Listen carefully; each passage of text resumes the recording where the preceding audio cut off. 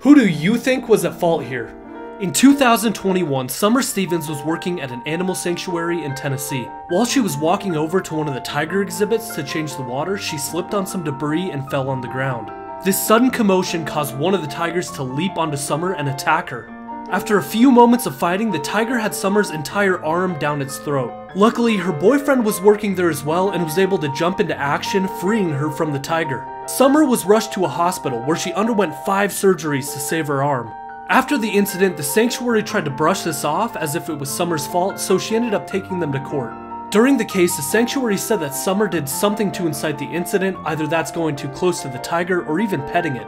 Somer refuted this, saying that of course her intention was never to be attacked by a tiger. However, the sanctuary was not moved by this and never admitted guilt.